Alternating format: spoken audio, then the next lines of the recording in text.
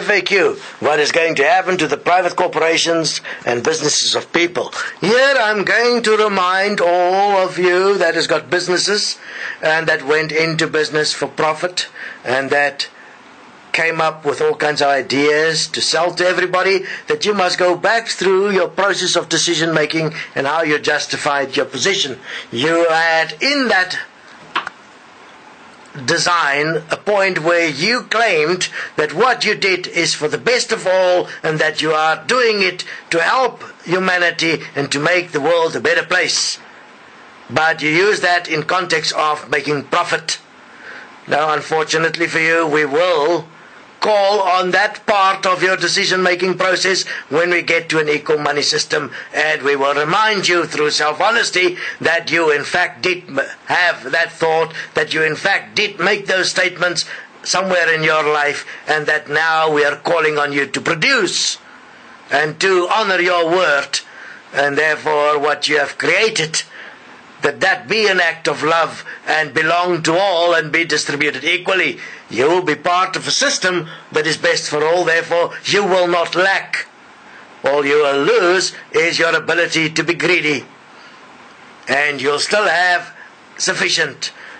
And what is a wonderful thing is you will no longer have to misrepresent yourself and you will no longer have to create all kinds of advertisings and presentations to convince people to buy your brand because brands will no longer exist in an equal money system.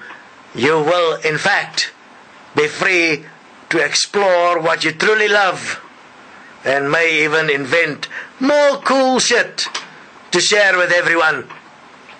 You'll have time for your family and your kids will start to love you because you'll spend some time at home.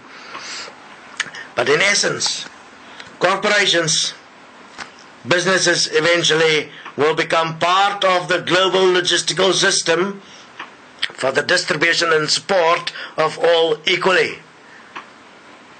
And only those parts will be left in service that is relevant to this distribution and that is critical for logistics.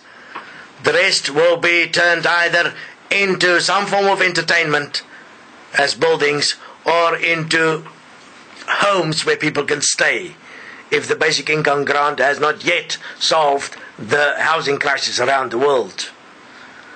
So, obviously, this will be part of a decision making that will involve everyone, even you as corporate member or business owner or professional. It doesn't matter who you are, you will be part of the decision, and your fears, if you have any, will be considered.